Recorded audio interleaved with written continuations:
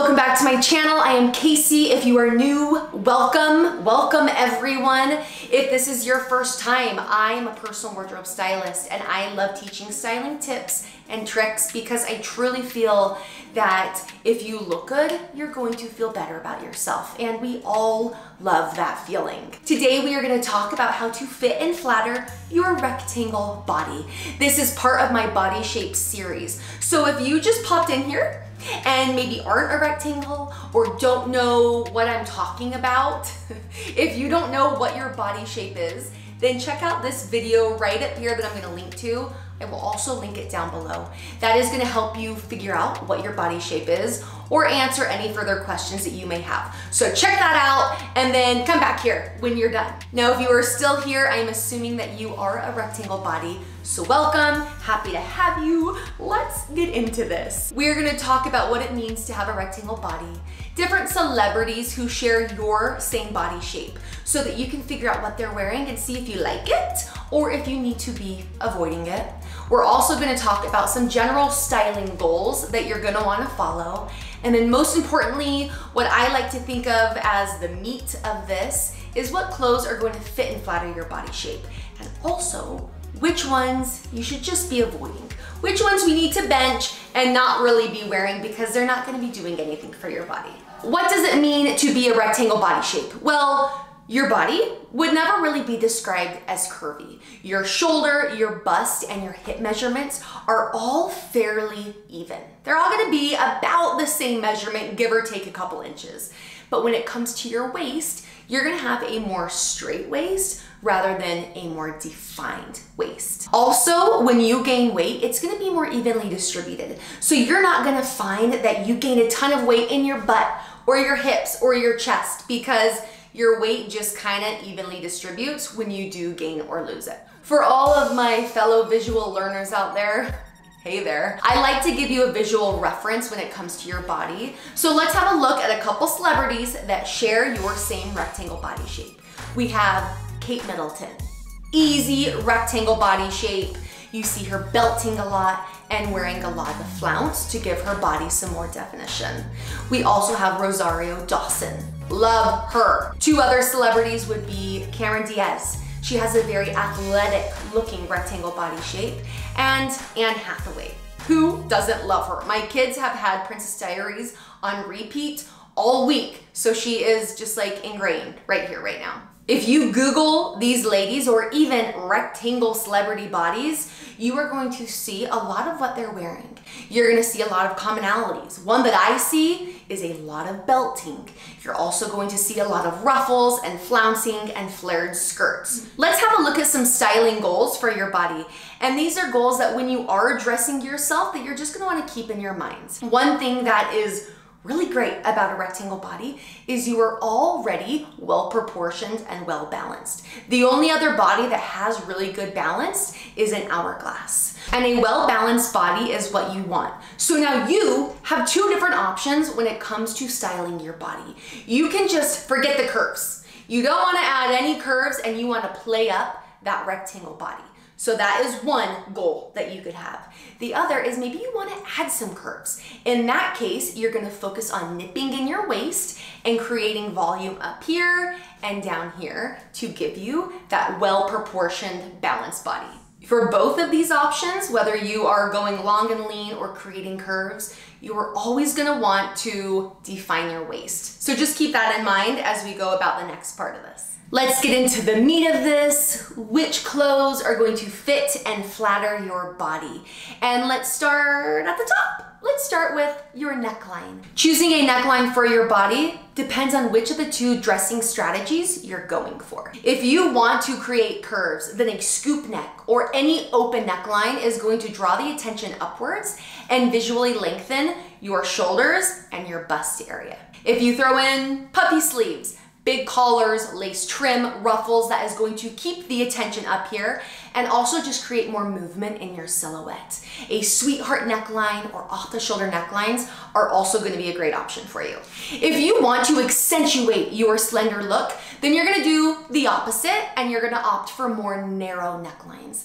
These are your turtlenecks, your mandarin collars, crew necks, and even any halter tops. Just remember that even if you are keeping more to a slender look, you still want to accentuate your waist. Wrap style tops or belted tops are also really good options. Even those cute shirts or sweaters that have a pussy bow right here, I hate that word, but that's a technical term, are also good options for you because it's gonna create more volume and interest to your upper half. No matter what shirt you choose though, keep in mind that it should always end at your hip level. You want to avoid anything that is cropped because it's just gonna make your body look even more boxy, which is not what we're going for. Another tip that I have is to invest in a good bra. A well-fitting bra is essential for all rectangle bodies because it's gonna help you make the most of the curves that you do have. And if you want to make your bra a push-up bra, be my guest. I would never say no. Um, I think anybody could probably use a push-up bra, especially if you have had kids. If you know, you know.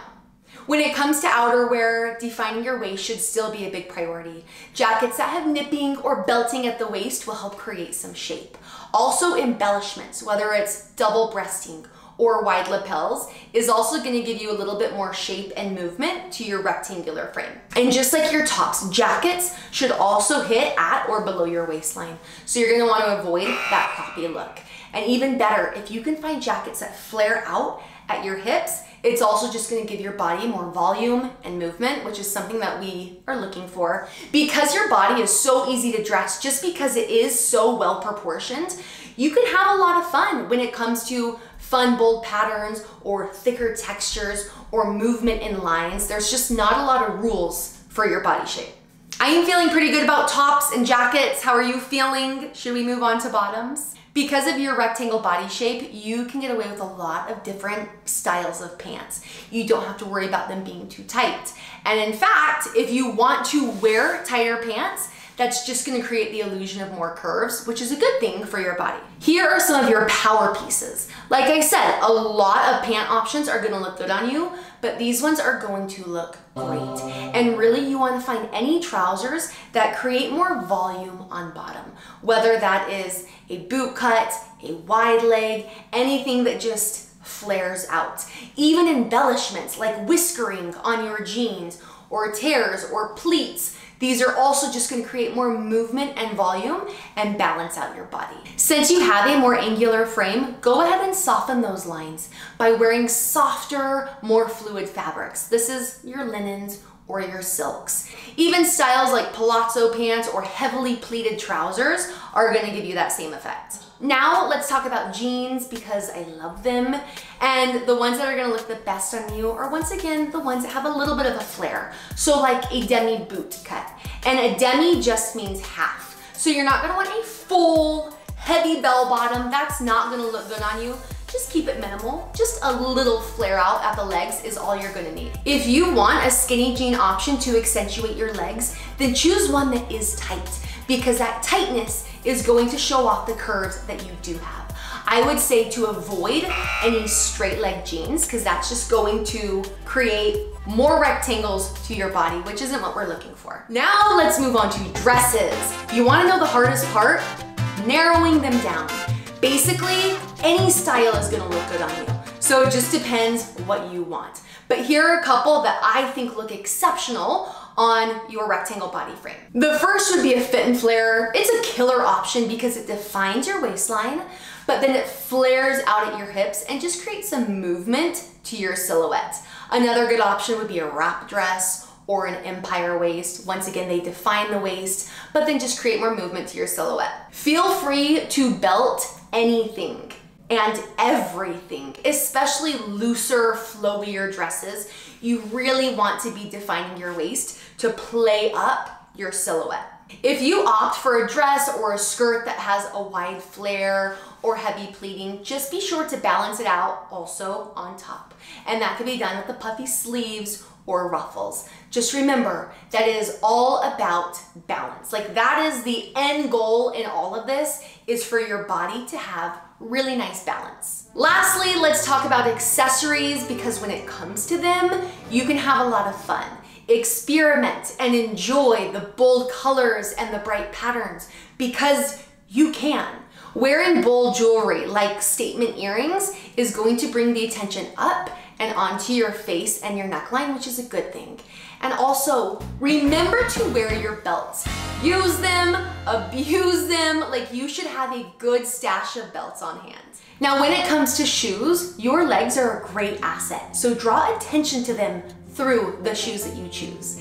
A pointed toe, whether that is in a flat or a boot, is gonna make you appear taller. And finding one in a neutral shade will also help to visually elongate your legs. So I hope these tips were helpful for you. I hope you learned something new. We talked about what it means to be a rectangle body, different celebrities that you can pull inspiration from, and some styling goals. Whether you are wanting to remain looking tall and lean, or if you want to add some curves and movements to your body, we talked about the goals that will help you achieve that. And lastly, we talked about clothes that are going to fit and flatter your rectangle body shape. I'm trying to make it as easy as possible when you are dressing yourself in the morning.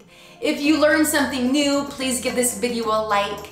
You can also hit that bell icon next to subscribe and you'll be notified every time I release a new video. So thank you for listening and I will see y'all next time. Bye.